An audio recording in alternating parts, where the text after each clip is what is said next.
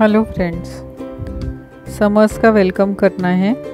तो हमको तैयार होना है शेक्स, जूसेस और स्मूदीज़ के साथ। इसी सिलसिले में आज हम बना रहे हैं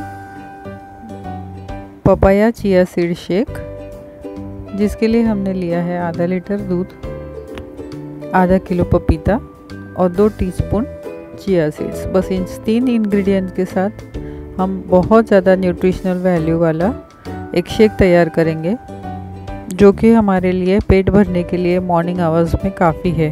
आप ब्रेकफास्ट की जगह इसको ले सकते हैं। वेट लॉस जिनको करना है, उन लोगों के लिए तो ये बहुत ज़्यादा फ़ायदेमंद है, क्योंकि चिया सीड्स के अनलिमिटेड बेनिफिट्स हैं। पपैया अपने आप में एक न्यूट्रिशियस फ़ूड है, और मिल्क जो आप लेंगे दूध इसमें, वो आप अपनी इच्छा अनुसार फुल फैट या लो फैट दूध ले सकते हैं।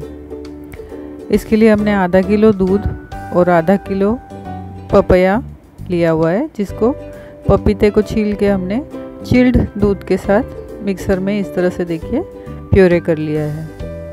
और बचे हुए दूध में इस प्योरी को मिला लिया है। इसको बिल्कुल हमने ऐसा नहीं किया है कि पूरा फाइन प्योरे किया है। कुछ चंक्स इसमें पपीते के हमने छोड़े हैं। थोड़ा रफली आपको इसको मिक्सर में ग्राइंड करना है। ये देखिए इस तरह से। बाकी बचे हुए दूध में हमने इसको पूरा मिला लिया है। अच्छे से। आप ख़ास तौर पे गौर कीजिए कि हमने इसमें मिठास के लिए एडिशनल कुछ भी नहीं डाला है। ना शक्कर है, ना कुछ और। अगर आप चाहें तो आप इसमें शक्कर, गुड़ या हनी मिला सकते हैं।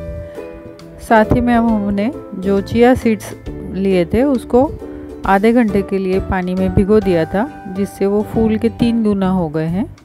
वो भी अब हम यहाँ पर मिला रहे हैं। ये देखिए, बहुत अच्छे से हमारा शेक प्रिपेयर हो गया है।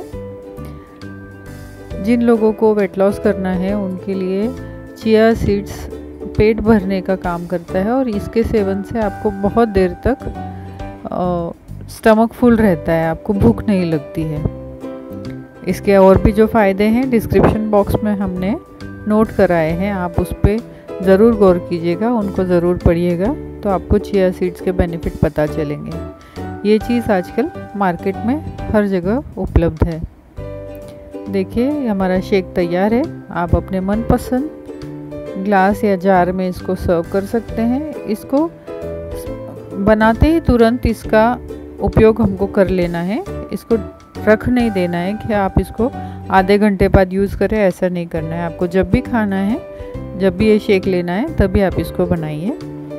ज़रूर बनाइए और अपने घर में सभी को बना के खिलाइए। थैंक यू सो मच इसको ज़रूर लाइक और शेयर कीजिएगा। धन्यवाद।